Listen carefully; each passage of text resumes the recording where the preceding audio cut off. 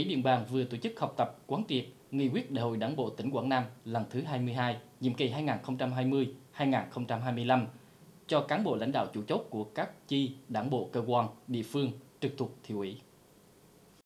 Tại hội nghị, các đại biểu được học tập 5 chuyên đề gồm khái quát về thành tựu và hạn chế khuyết điểm trong việc triển khai thực hiện nghị quyết Đại hội Đảng bộ tỉnh Quảng Nam lần thứ 21, nhiệm kỳ 2015-2020, mục tiêu nhiệm vụ trọng tâm giai đoạn 2020-2025, tầm nhìn đến năm 2030, tăng cường xây dựng đảng và hệ thống chính trị trong sạch vững mạnh, phát huy sức mạnh khối đại đoàn kết toàn dân, góp phần xây dựng Quảng Nam trở thành tỉnh khá của cả nước vào năm 2030. Tiếp tục thực hiện ba nhiệm vụ đột phá chiến lược gắn với đổi mới mô hình tăng trưởng cơ cấu lại nền kinh tế của tỉnh, huy động và sử dụng hiệu quả mọi nguồn lực xây dựng Quảng Nam phát triển nhanh, bền vững trong giai đoạn 2020-2025. Những giải pháp xây dựng và phát triển văn hóa con người, đảm bảo an sinh xã hội. Công tác đảm bảo quốc phòng an ninh nội chính, phòng chống tham nhũng, cải cách tư pháp và công tác đối ngoại. Thông qua một phần nguồn vốn hỗ trợ chương trình nông thôn mới, từ năm 2019 đến nay, Ủy ban Nhân dân thị xã Điện Bàn đã hỗ trợ cho 44 hộ chăn nuôi gần 6 tỷ đồng để triển khai thí điểm mô hình nuôi bò 3B. Các hộ chăn nuôi được hỗ trợ từ 30 đến 50% kinh phí mua con giống, hỗ trợ mua sắm máy băm cỏ và hỗ trợ chi phí thức ăn suốt trong thời gian 6 tháng. Sau quá trình chăn nuôi, mô hình đã mang lại hiệu quả kinh tế cao, giúp người chăn nuôi làm giàu. Mỗi con bò nuôi trong thời gian 11 đến 12 tháng bán ra thị trường bình quân 50 triệu đồng. Sau khi trừ các khoản chi phí, người chăn nuôi thu lại ròng gần 30 triệu đồng. Công trình Trung tâm Thể dục Thể thao Bắc Quảng Nam chính thức được đồng thổ xây dựng tại khối phố 5, phường Vĩnh Điện, thị xã Điện Bàn. Công trình trung tâm có tổng diện tích khoảng 58.385 m2 với hai khu chức năng. Khu A có diện tích 35.569 m2, gồm các hạng mục công trình như sân vận động khán đài có sức chứa khoảng 7.000 chỗ ngồi, sân bóng đá đường chạy. Khu B có diện tích 22.826 m2, gồm nhà thi đấu đa năng 2 tầng có sức chứa khoảng 2.000 chỗ ngồi, các sân thi đấu ngoài trời. Công trình có tổng mức đầu tư 121 tỷ đồng, trong đó ngân sách Ủy ban Nhân dân thị xã Điện Bàn 96 tỷ đồng và ngân sách Ủy ban Nhân dân tỉnh hỗ trợ 25 tỷ đồng. Hội Nông dân thị xã Điện Bàn vừa tổ chức lễ phát động Tết trồng cây đời đời nhớ ơn Bác Hồ Xuân Tân Sửu 2021. Hội Nông dân thị xã đã phát động trong toàn thể 20 cơ sở hội trồng từ 2.000 đến 4.000 cây trồng các loại. Đây là hoạt động hưởng ứng lời kêu gọi của Thủ tướng Chính phủ trồng 1 tỷ cây xanh năm 2021 và lời phát động của Ủy ban Nhân dân thị xã Điện Bàn trong phong trào Tết trồng cây nhân dịp Xuân Tân Sửu. Tại buổi lễ, Hội Nông dân thị xã đã trao tặng 30 cây ăn quả cho xã Điền Trung trồng tại khu tưởng niệm Đền Hùng, thôn Hoài Giang và Ủy ban Nhân dân xã. Trao tặng 4 hộ có hoàn cảnh khó khăn trên địa bàn, mỗi hộ 10 cây bưởi da xanh, mít thái, ổi và chanh không hạt, nhằm cải tạo vườn tạp và nâng cao thu nhập cho từng hộ dân. Để thực hiện tốt nhiệm vụ quốc phòng quân sự địa phương năm 2021, ngay sau Tết Nguyên đán, Ban chỉ huy quân sự thị xã Điện Bàn đã tập trung cho công tác huấn luyện dân quân năm 2021.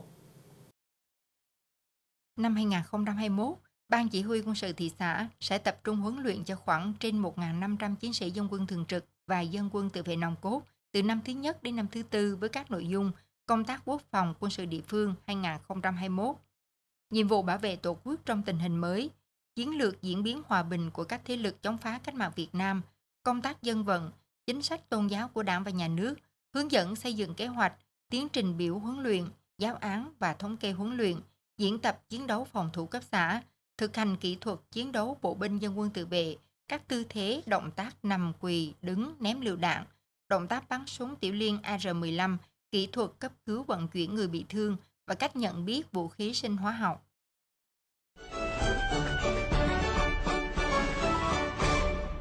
Thưa quý vị và các bạn, đầu tuần này, Ủy ban nhân dân thị xã Điện Bàn tổ chức Tết trồng cây đời đời nhớ ơn Bác Hồ và hưởng ứng lời kêu gọi trồng 1 tỷ cây xanh của Thủ tướng Chính phủ. Đây là hoạt động có ý nghĩa thiết thực để bảo vệ môi trường sống trong cộng đồng, góp phần phát triển kinh tế xã hội tại địa phương. Ghi nhận của phóng viên chương trình. Phát biểu tại lễ phát động, lãnh đạo Ủy ban Nhân dân thị xã nhấn mạnh, việc hưởng ứng Tết trồng cây có vai trò hết sức quan trọng trước việc biến đổi khí hậu hiện nay. Để bảo vệ môi trường, ngoài các biện pháp giảm thiểu nguồn ô nhiễm, thì việc trồng và phát triển cây xanh tạo cảnh quan ở đô thị cũng như ở làng quê có vai trò vô cùng quan trọng. Vừa là hành động cấp bách cần thực hiện ngay, vừa là nhiệm vụ chiến lược lâu dài. Việc trồng cây xanh là hết sức thiết thực. Do đó, tôi đã chỉ đạo có cái ngành, có cái địa phương là tập trung thứ nhất là công tác tuyên truyền vận động để mua mua mua nhà trồng cây, người người trồng cây. Để là việc trồng cây đó là cái cái trách nhiệm của chúng ta. Phong trào trồng cây vào mỗi dịp Tết Nguyên đán đã trở thành phong tục tốt đẹp của nhân dân cả nước nói chung và thị xã Điện Bàn nói riêng, có ý nghĩa nhân văn hết sức lớn lao đối với tất cả mọi người và toàn xã hội. Hưởng ứng phong trào này, hàng năm các cấp ủy đảng chính quyền địa phương cùng các hội đoàn thể từ thị xã đến cơ sở đã tích cực hưởng ứng bằng những việc làm cụ thể để môi trường ngày càng xanh, sạch đẹp. Thì à, đối với các cấp hội nông dân của thị xã Điện Bàn thì chúng tôi phát động trong toàn thể cán bộ hội viên nông dân. Và trong cái à, phát động Tết trồng cây năm 2021 lần này á, thì à, hội nông dân trên địa bàn toàn thị xã sẽ hướng đến trồng 2.000 đến 4.000 cây ăn quả các loại nhằm à, phát triển kinh tế hộ gia đình, cơ tổ vườn tộc. Mùa xuân là Tết trồng cây, làm cho đất nước càng ngày càng xanh. Trồng cây không chỉ là công việc cho hôm nay mà còn có ý nghĩa cho tương lai. Mỗi cây xanh được buông trồng là sự sống, là biểu hiện sự sinh động của việc học tập và làm theo tấm gương đạo đức Hồ Chí Minh. Vì lợi ích 10 năm trồng cây, vì lợi ích trăm năm trồng người, và giờ đây cũng là hoạt động nhằm hưởng ứng lời kêu gọi trồng 1 tỷ cây xanh của Thủ tướng Chính phủ đang phát động.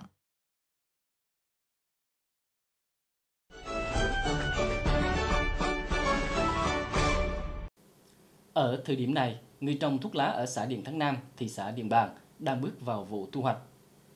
Do được chăm sóc hợp lý, thời tiết thuận lợi nên năng suất cây thuốc lá đạt cao.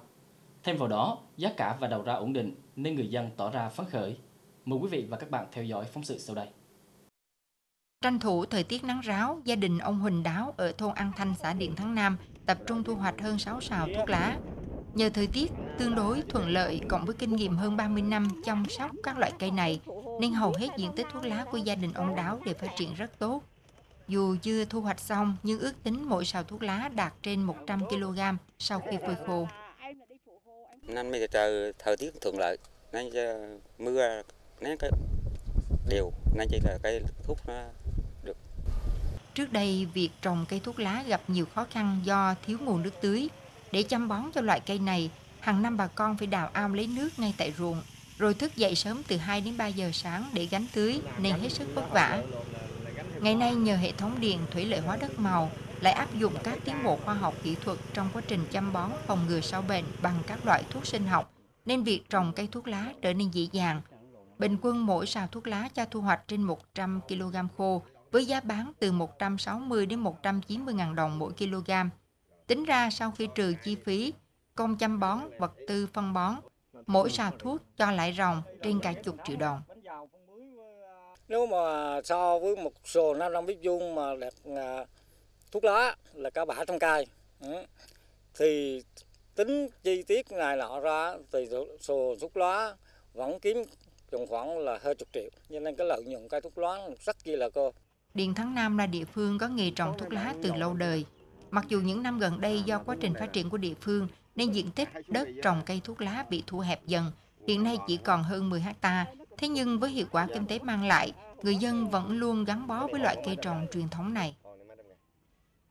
Nhìn chung trong những năm qua thì à, trên địa bàn xã người nông dân là à, trồng cái thuốc lá đó, thì thấy những hiệu quả kinh tế mang lại cô hơn những cái cây mà công nghiệp ngắn ngày ví dụ cây lợt, cây bắp hay những cái cây khác.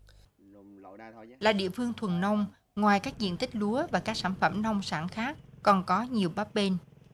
Thì cây thuốc lá lại được mùa được giá, đang đem lại niềm vui trọn vẹn cho nông dân xã Điện Thắng Nam, thị xã Điện Bàn trong vụ đông xuân này.